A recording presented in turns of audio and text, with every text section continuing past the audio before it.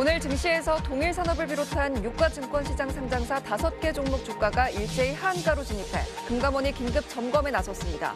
주가 조작 세력이 연루된 SG증권발 사태와 비교해봤습니다. 3년 전 북한이 남북 공동 연락사무소를 폭파시킨 것에 대해 정부가 국내 법원에 447억 상당의 손해배상 청구 소송을 제기했습니다.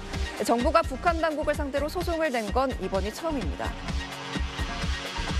야간 해루질에 나섰다가 갑자기 불어난 물에 고립돼 목숨을 잃는 사고가 최근 연이어 발생했습니다. 안전을 위해선 무엇을 조심해야 하는지 현장 취재했습니다. 20세 이하 월드컵에서 4강 진출이란 쾌거를 이뤄낸 우리 축구 대표팀이 팬들의 환영 속에서 오늘 귀국했습니다. 잠시 후 8시 뉴스에서 뵙겠습니다.